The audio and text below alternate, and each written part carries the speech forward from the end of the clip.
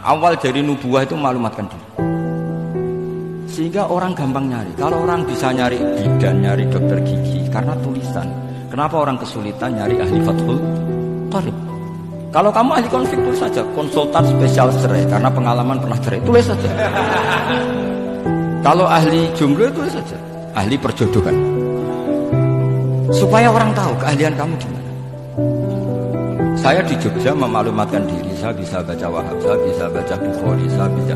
Bukan dalam konteks sombong, karena kebutuhan umat yang ingin tatap buku asari Rasulullah, mencari-cari asari Rasulullah itu terpenuhi. Itu dengan ngaji orang yang ahli. Tunjukkan kalau baca kamu benar dan sebagai solusi umat. Umat punya problem banyak. Dan kamu mengajar dengan uh, manhaj yang jadi solusi, yang jadi solutif, yang solutif.